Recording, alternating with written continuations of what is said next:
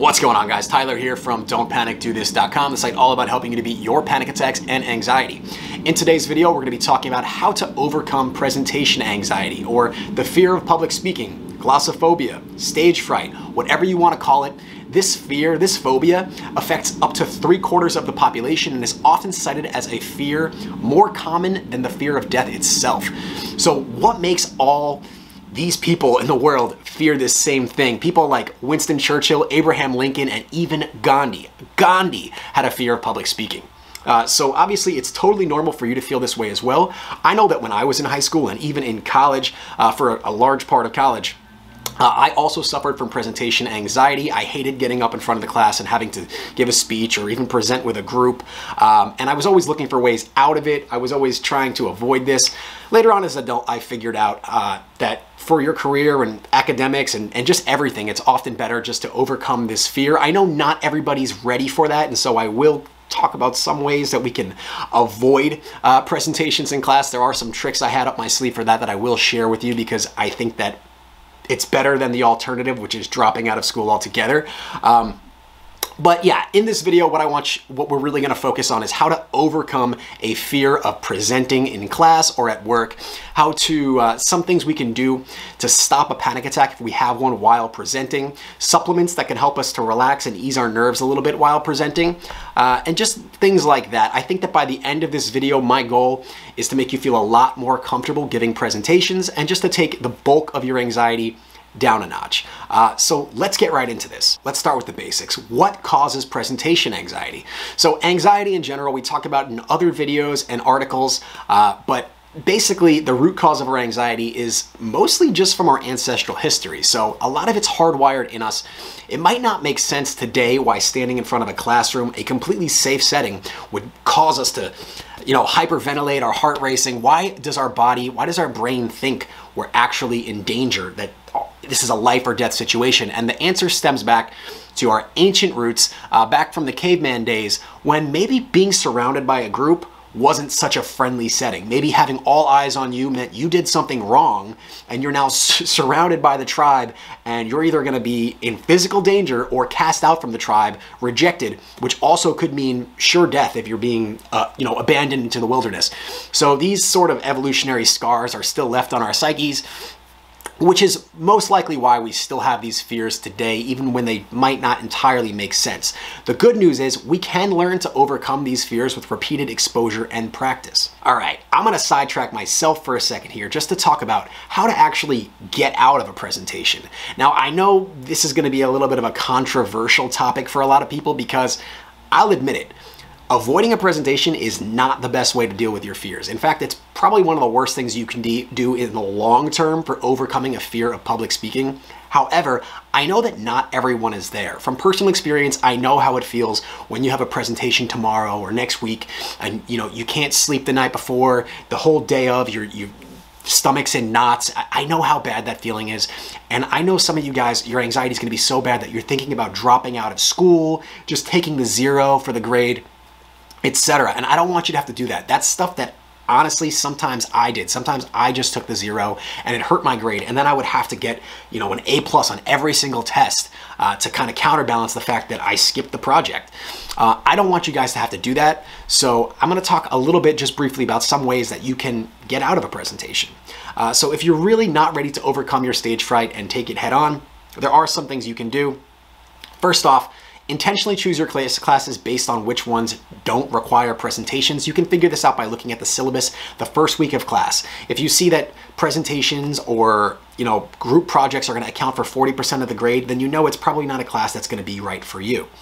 Uh, something else you can do, you can tell the professor or the teacher about your anxiety, about what you're going through. For the most part, they're going to be empathetic. They're going to listen and hear you out. Uh, they're not going to want you to necessarily get off scot-free. They, they, uh, lots of people are going to come to them all the time with excuses for why they can't get their work done, and they're going to be on guard for that. So just remember to be communicative and maybe even suggest something else that you could do instead. Something I might have done in the past would be you know, hey, I'm really nervous about this five minute presentation. Could I instead write a five minute, uh, I mean, a, a, five page essay?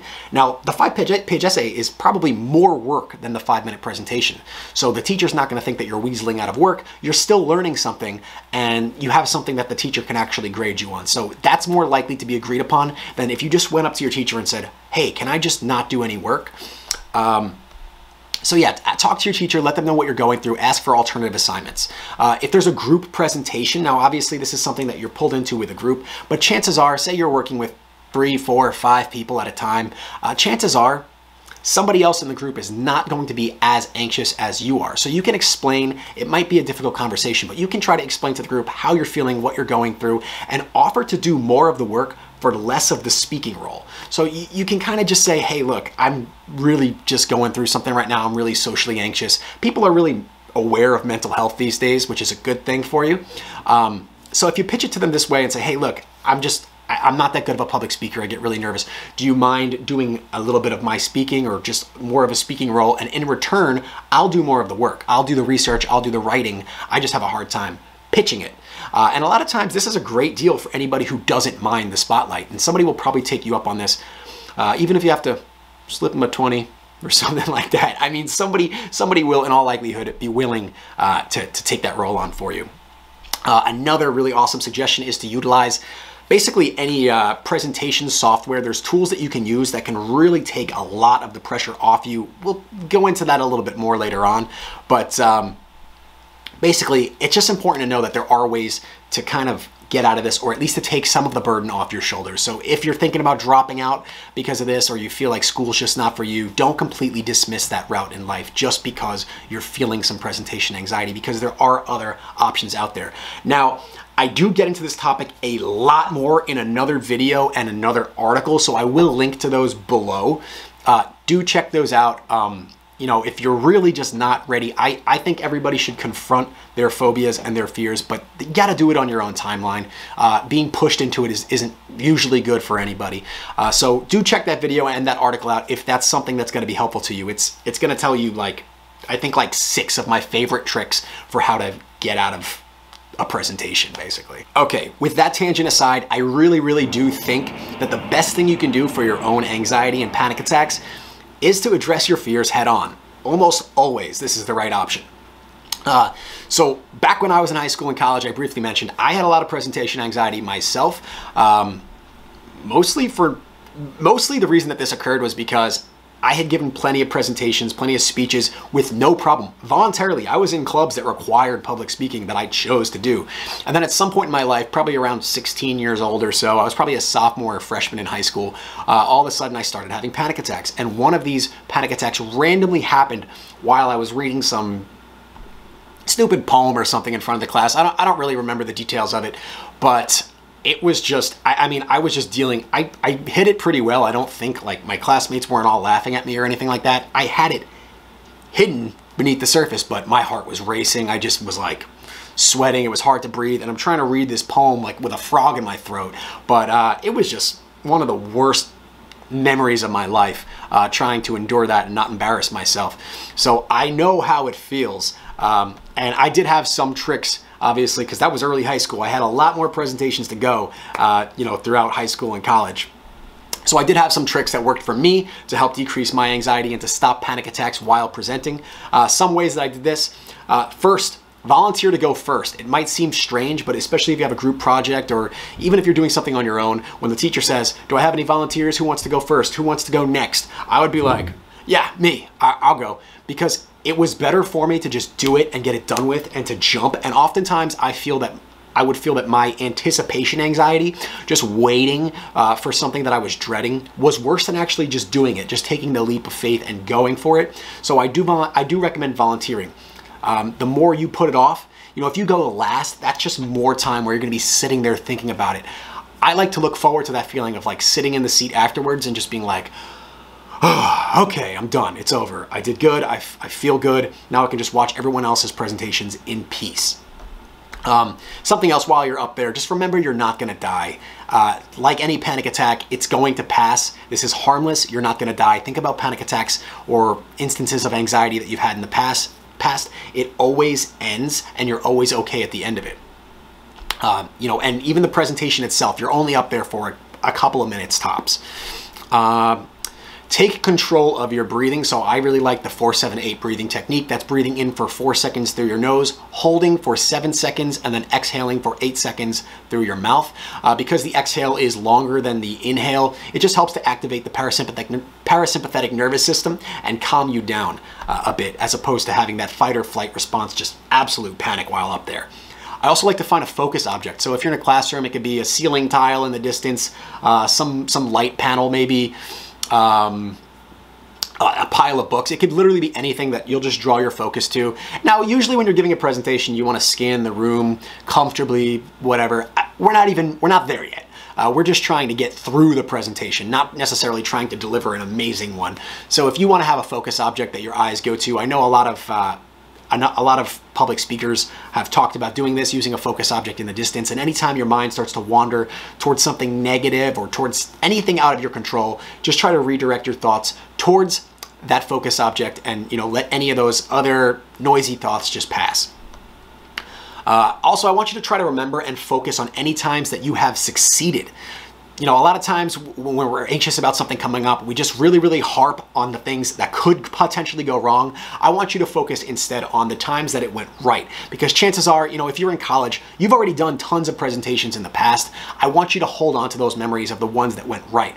And even the ones that went wrong, if those those kind of pop into your head, like I said, I had a bad bad experience giving a speech or a, a whatever presentation. And uh, when I had that, I, even if I thought about that, I would still have to remember, okay, yeah, I had a bad experience, but did it kill me? I, am okay. Like I got through it in a couple of minutes. You know, nobody really noticed anything was going on. And even if they did, they're going to forget. Like people don't really hold on to that stuff forever. It's, it's, it's useless. Um, if you have a friend in the class, you might, you know, go flash them a smile, give them a wink, uh, just be funny you know, just just something to take your mind off it. I'd rather stifle laughter while up there than battle a panic attack the whole time I'm standing in front of the class. So, you know, look to your friends for that.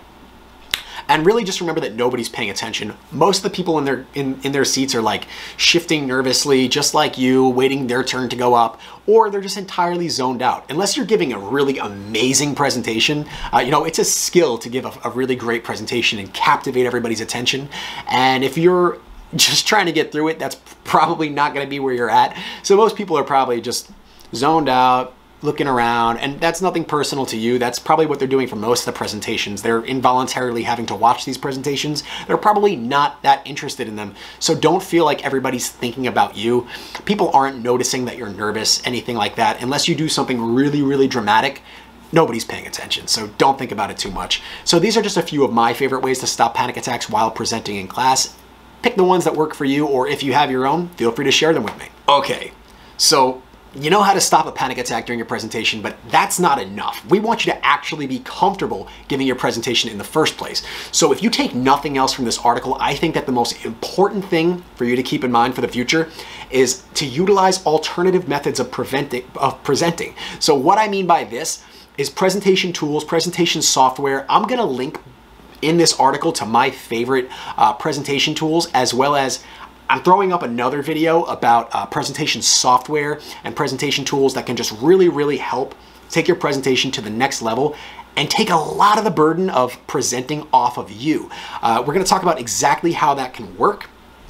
But basically, what I want you to realize is that if you're giving a class presentation, all your teacher really cares about, or if even if this is for work, all your boss really cares about is that you put hard work and dedication into your assignment, you learn something through the process, and then you're able to convey what you learned to your classmates or your, your colleagues, your peers, whoever. The point is you learn something, you're teaching it to everybody else. That's the whole point of a presentation. So as long as you're able to hit those points, it doesn't really matter, in my opinion, that you're the one speaking or actively speaking while up there.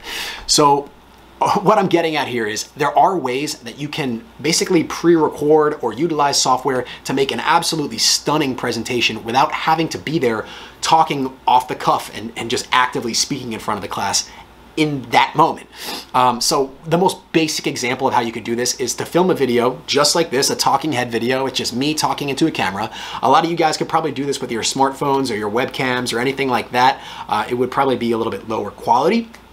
but uh, it is an option. So that would be the most basic example of this is just a, just filming a video and then putting it up on the screen and saying, here, here we go. Uh, that's something that I would have recommend talking to the teacher about first rather than just saying, here teacher, put this on the computer. You know, uh, put throw this up on the monitor. You know, talk to them first. Um, and it's not my favorite option to do just a video, but you can put a video or or audio of you actually pre-reading the slides and put that in the back of a PowerPoint presentation. So rather than just standing up there and hitting the slides and talking about the points, you could pre-record it. There's really no reason why you shouldn't. You're still getting your assignment done. You're still putting in all the work. You're just not actively talking in front of the class in that moment. If that doesn't work, there's other software uh, where even you don't even have to show your face or even your voice uh, with other software that uses animation, sort of like drag and drop like I said, I'm going to link below to all my favorite software. My opinions might change over time. I might learn about additional uh, pieces of software that work even better in the future. So I'm going to keep this a separate video, a separate article. Uh, I will link to all that stuff below, to that article, to that video. So I highly recommend checking that stuff out uh, because there is a lot of awesome presentation software out there that can really kind of ease you into it. So you can do take the role,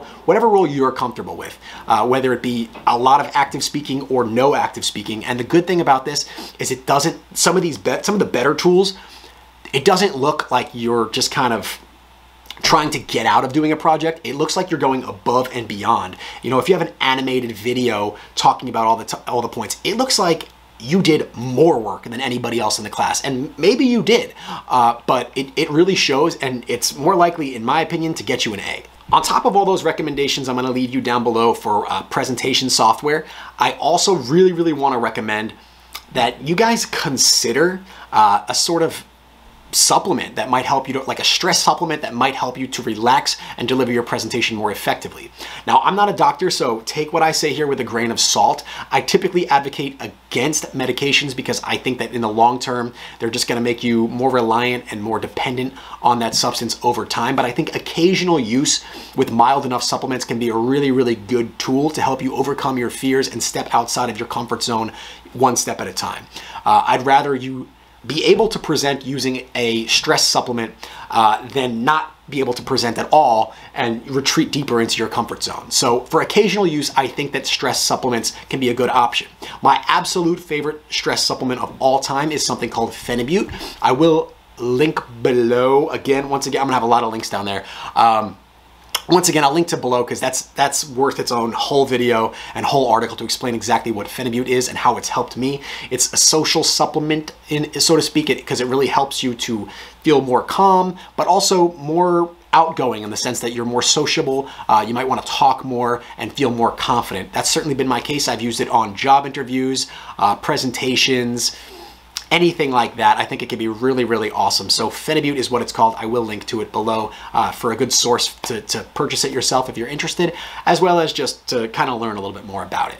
Winston Churchill, former Prime Minister of the UK and one of the most famous public speakers in the world, actually suffered from public speaking himself. And one of his most famous quotes that I really love is, let our advanced worrying become advanced thinking and planning. So basically, this is kind of about anticipation anxiety. Rather than worrying about future events to come, let's spend that time instead thinking and planning uh, to really prepare for the situation that's causing us anxiety in the first place. So with that said, here are some tips to present a project effectively. Uh, first off, while presenting, make sure that you're smiling and making eye contact with your audience. Communicate with body language. Move around the stage a bit. Use your hands to uh, articulate gestures and get your point across.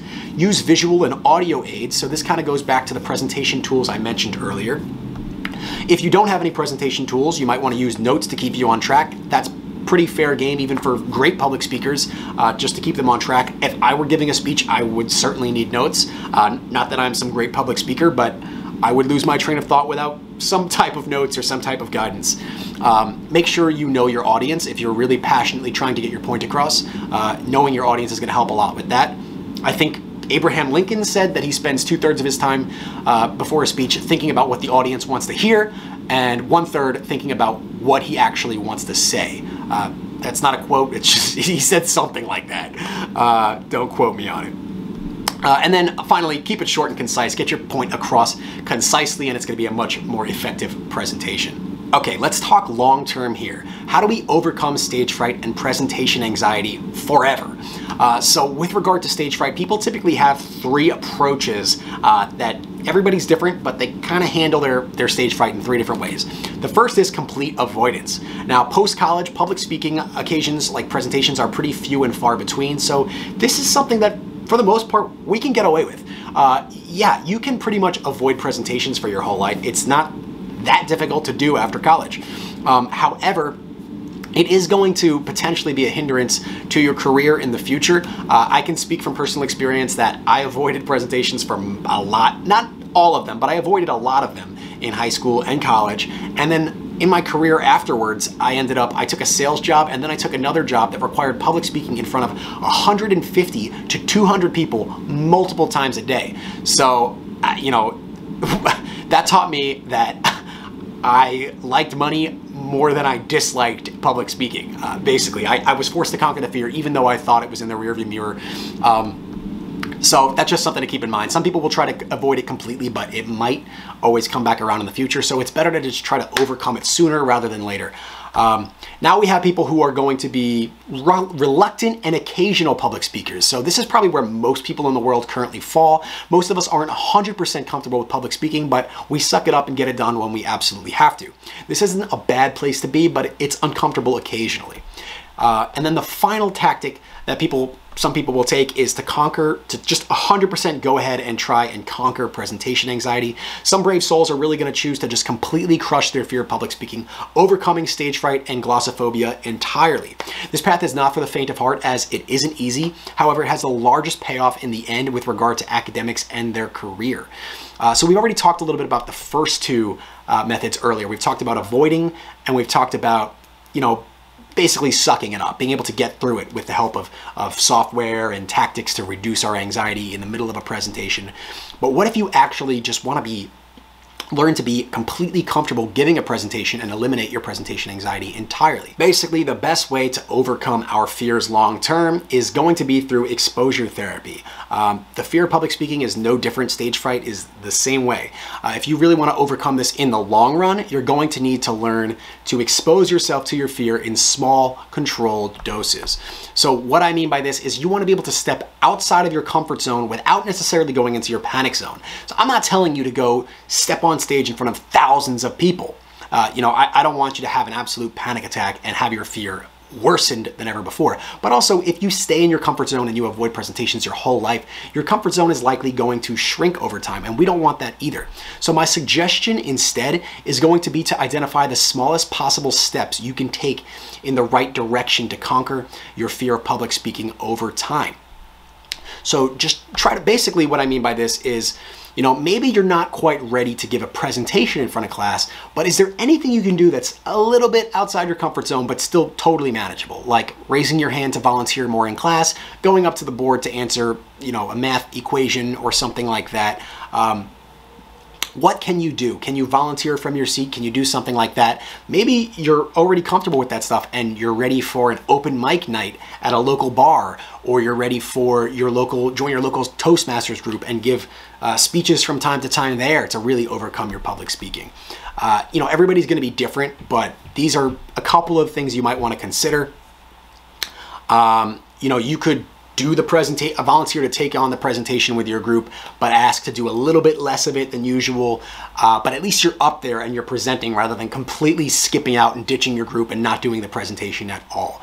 So identify those little areas where you can grow, where you can step just a little bit outside your comfort zone and seek them out actively. Get excited about it because you, even if you don't realize it, even on an unconscious or subconscious level, by doing this, by doing this kind of just, you're drilling it into your brain, you're teaching your brain, hey, look, I don't need to be afraid of this. I, I can talk in front of the class and I'm to be okay. Nothing bad's to happen. And the more we do this, the more our comfort zone expands. Even if it's happening slowly, it's happening. And over time, we're going to feel more and more comfortable doing this. Like I said, guys, um, I wasn't comfortable at all. Thinking about talking in front of people would give me the worst anxiety uh, back in high school and, and even college.